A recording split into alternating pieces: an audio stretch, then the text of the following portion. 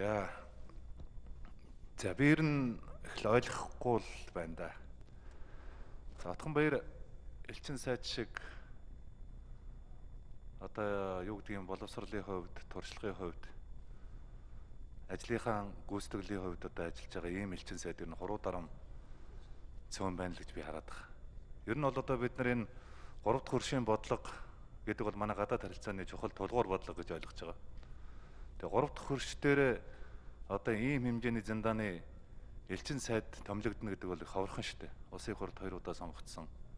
Засгийн газрын гишүүнээр ажил хоёр удаа ажиллаж байсан. Тэгээд ийм хүнийг зөвхөн ингээ олон нийтийн сүлжээнд гарсан гэдгээр одоо татах асуудал оруулж ирж чад би гүнээ харамсаж байгаа. Гүнээ харамсаж. А тэгээ ер нь бол энэ олон нийтийн сүлжээ гэж энэ гадаадын элчин сайд нар чи их л өдөр ирэх тусам нээлттэй болоод байгаа юм биш үү?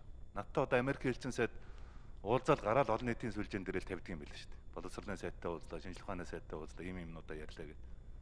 Бүхэл орны элчин сайдууд чинь энэ олон нийтийн сүлжээгээр одоо энэ Дональд Трамп хүртэл одоо өдөр тутмынхаа асуудлыг энэ твиттерээр л явуулдаг юм шүү. Ард иргэдэд мэдээлэл өгч.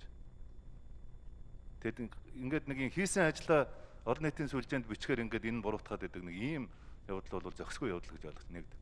За хоёрт бол энэ боловсролын салбарт олон жил яригдсан энэ Монголын хүүхдүүдийг гадаадад хямдхан сургах Америк нэгдсэн улсын дотоод тарифаар сурах ажлыг чинь энэ хүн ингээд гардаад хийчлээ шүү дээ.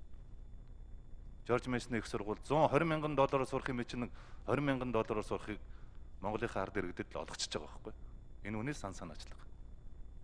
Тэгээ эдийн засгийн асуудлаар ер нь ажилласангүй гэж яриад байгаа. Энэ мянганы сорилын сангийн 350 сая доллар одоо хэний хөдөлмөрийн хүч хөдөлмөрөөр хэний санаачлагаар одоо энэ төсөл бүтгэгдсэн юм бэ? Хэний санаачлагаар гарын үсэг зурагдсан юм бэ? Энэ асуудлыг бид нэг бодитомор